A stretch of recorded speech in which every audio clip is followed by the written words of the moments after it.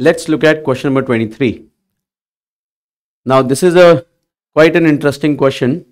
Consider the following statements. Statement number one, carbon markets are likely to be one of the most widespread tools in the fight against climate change. Carbon markets transfer resources from private sector to the state. Which one of the following is correct in respect of the above statements? Now, this uh, kind of assertion reasoning type of questions have been very common in the previous year UPSC exams. This time we have noticed a higher in, an increase in the number of such questions. But this gives you an idea that what is the kind of pattern that UPSC is focusing on. And from now onwards, we have to make sure that we learn things based on the facts. We have to remember some of the facts. And also we have to understand the interrelatability of the facts so that we are able to answer these kind of questions. Although in terms of topics, this question is not a surprise questions on climate change mitigation strategies, carbon market is something which was highly anticipated. And a question like this is something very much important as well.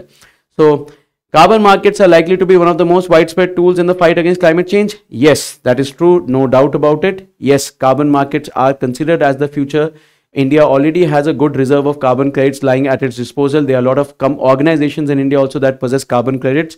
And these carbon credits, if you guys understand the idea of carbon mitigation strategies, since Kyoto Protocol, they have been a tool to incentivize those who are reducing the carbon footprints. And they are also a tool to penalize those who are releasing more carbon emissions or carbon footprints.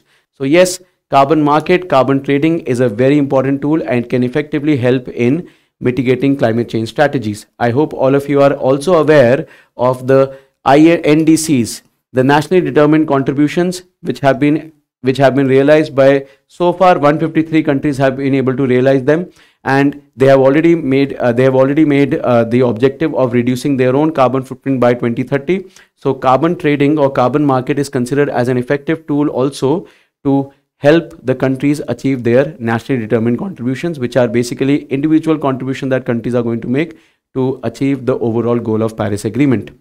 Now, the second statement says carbon markets transfer the resources from private sector to the state.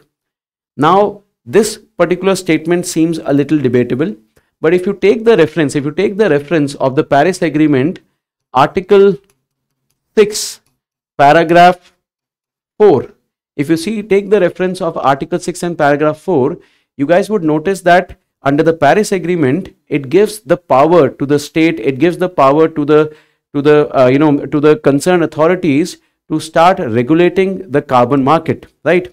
See, I hope you understand carbon trading is based on an idea where a country, where an organization, a country or a person can be incentivized for reducing their emissions, can be incentivized of you know, uh, in, in uh, uh, coming up with technologies that can capture the excessive carbon, right?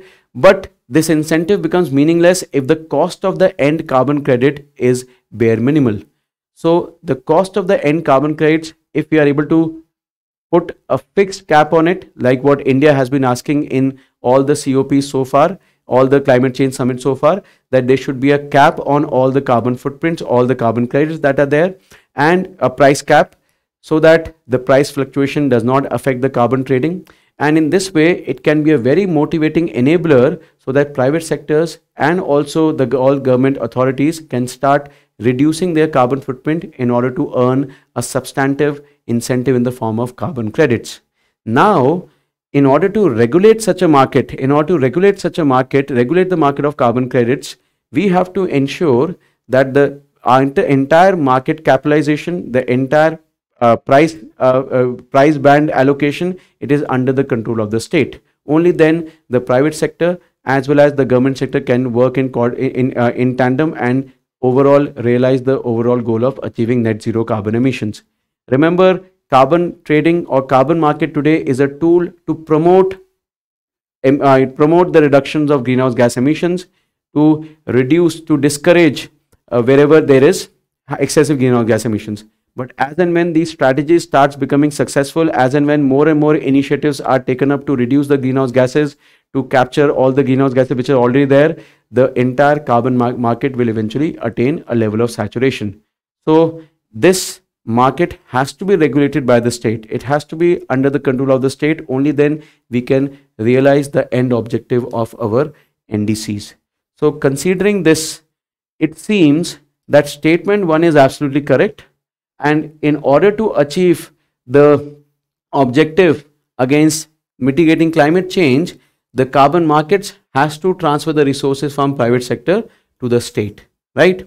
So according to the two statements here, it seems that both statement 1 and 2 are correct and statement 2 looks like a correct explanation for the statement 1. So for this question, the answer should be option A. I hope you guys are able to understand.